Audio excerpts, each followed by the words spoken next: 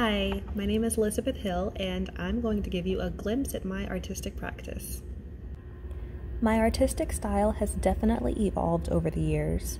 My older works are very much influenced by geometric abstraction, and I still incorporate this style in my pieces today.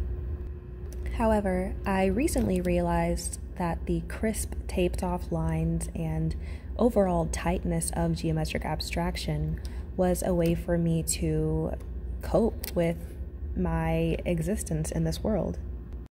The intersection of my blackness and my womanhood doesn't really afford me very much power systemically, and I was using geometric abstraction to, in a way, regain control, but through my artwork.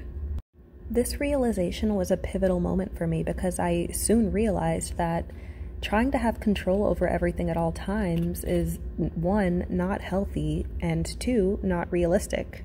So I made a conscious decision to try and combat this. My most recent body of work includes organic forms and loose, wobbly lines, and this just acts as a way for me to not be in control. This is me allowing myself to be vulnerable in my work and to not feel like I have to be perfect at all times. This big push against perfectionism has led to the incorporation of text and words in my work as well. I've wanted to explore the use of text and words for the longest time, but I was afraid to do so because I didn't want to do it the wrong way. But the thing is, there is no right or wrong way to do this.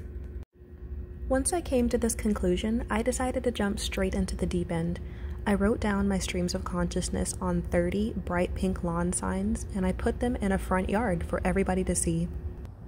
This was a scary but very exhilarating experience for me because personally I'm not the best at public vulnerability, but I'm starting to realize that it's something I really need to work on for my own sake.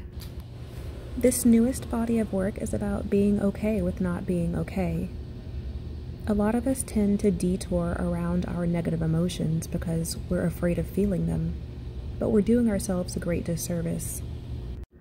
By doing this, we're denying ourselves the human experience of feeling a full range of emotions. The goal of my proposed project is to invite viewers to actively engage with their emotions.